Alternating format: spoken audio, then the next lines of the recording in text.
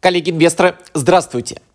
Рассказываю про свой опыт инвестирования. Инвестирую в российские акции, в российские компании. Опыт инвестирования более двух лет. Сегодня пятница, 20 октября 2023 года. Ну и по старой доброй традиции пополняю свой брокерский счет на 2000 рублей для совершения покупок. Портфель по-прежнему неизменный, в нем находится также 10 компаний. Это компании Аэрофлот, Газпром, Магнит, Московская биржа, МТС, Роснефть, Россети, Сбербанк, Северсталь и компания Сигежа. Также в моем инвестиционном портфеле была 11 компания, это компания Яндекс. Сейчас она находится в Россельхозбанке, пока что находится в минусе, минус там приличный, минус почти 30%, но пока что не буду торопиться с данной позицией. Давайте смотреть, как у нас меняются показатели и будем совершать покупки. Компания Аэрофлот у нас на неделе подрастает на 1%, торгуется по 40 рублей 46 копеек за одну акцию. Газ у нас э, снижается, тут снижение небольшое, всего полпроцента, 169 рублей 75 копеек. Э, по портфелю видим минус, минус приличный. Компания Магнит э, прибавляет э, 4%, 5779 рублей сейчас торгуется компания э, Магнит. Э, МТС у нас э, подрастает на 1%, 273 рубля 50 копеек торгует сейчас компания МТС. Роснефть подрастает очень прилично, плюс почти 9%, 594 рубля 30 копеек за одну акцию нам предлагает компания Роснефть. Россетия плюс 5%, 12 копеек торгуются. Серьезных пока что не видим подвижек. А, Сбер плюс полтора процента, 268 рублей 48 копеек за одну акцию.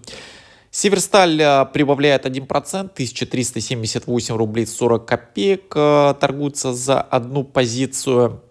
Северсталь, конечно, на долгосрок тоже очень и очень интересно. И компания Сигежа полпроцента прибавка, 5 рублей 2 копейки. Сигежа также на долгосрок очень и очень прилично выглядит. На брокерском счету 3480 рублей.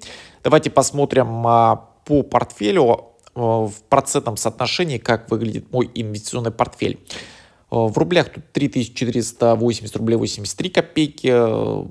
Первое место занимает у нас компания «Газпром», далее идут Россети, Московская биржа, Сбер, Роснефть, Северсталь, Сигежа, МТС, Аэрофлот, Магнит. Э, Сигежа, МТС хотелось бы повыше куда-нибудь видеть. Э, Сбер также хотелось бы повыше приподнять э, компании «Газпром». Но пока что цена по Сберу очень высокая и докупать данную позицию не планирую подождем, может быть, будет какая-то небольшая просадочка, и мы на этой просадочке Сбер и доберем. Так, э, ну давайте смотреть, э, что на этой неделе мы с вами э, будем покупать. Просадки видим по портфелю, что просаживается компания «Газпром» на 6,5%, по портфелю МТС минус 2,5%, Э, процента. И компания Сигежа также в минусе. Минус тут э, приличный, минус почти 10,5%. Так, ну давайте смотреть. Э, МТС у нас торгуется по 273 рубля 35 копеек. Повторюсь, на неделе подрастает, конечно, не, не, не намного. Средняя 279,28. И я думаю, можно будет взять 10 а, акций компании МТС. Давно МТС, конечно, не добирал в свой инвестиционный портфель. Эм, надо, конечно, немножко его подобрать, а, так как э, дивиденды платят вкусные, жирные. Ну и давайте будем нажимать а, купить. Нажимаем купить, нажимаем подтвердить заявку. Так, сейчас по рыночной выставим, чтобы сразу у нас прошла операция. 2723 рубля торгуются. Общая сумма 2733 рубля. Да, тут немножко играет э, МТС. По своей цене, конечно, если выставляешь, не, не сразу заявка проходит. Так, все, заявка у нас успешно создана, заявка исполнена, и компания МТС добавлена в мой инвестиционный портфель. Теперь у нас в портфеле 100 акций компании МТС. На брокерском счету остается 743 рубля 64 копейки. И следующая покупка это будет компания Давайте сейчас посмотрим по МТСу, какая средняя. Ну, тут усреднились э, совсем э, немножко, но, тем не менее, как говорится, копейка рубль бережет. Потихонечку будем усреднять данные позиции. Так, берем э, 100 акций компании Сигежа. Э, цена 5 рублей э, 2 копейки за одну акцию.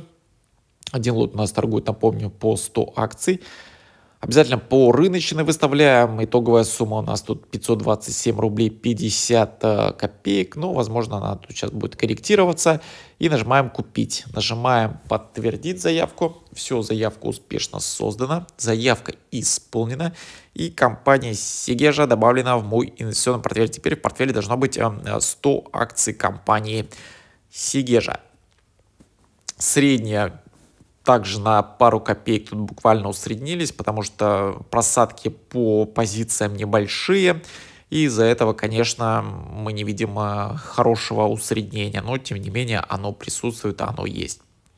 Так что вот такие покупки сделали на этой неделе. Купили 10 акций компании «Газпрома», 10 и 100 акций э, компании э, «Сигежа». Да, вот э, извиняюсь, 10 э, акций компании МТС э, купили мы с вами по цене 273 рубля 40 э, копеек и 100 акций компании Сигежа. Вот запинаюсь уже, как охота добрать компанию «Газпром». Цена все-таки вкусная, цена все-таки жирная. Даже запинаюсь уже. Так что Подписывайтесь на канал, пишите комментарии, какие акции вы держите в своем инвестиционном портфеле, какие акции посоветуете мне для дальнейших покупок. Очень интересно будет э, почитать ваши комментарии, стараюсь читать все комментарии, отвечать на все комментарии.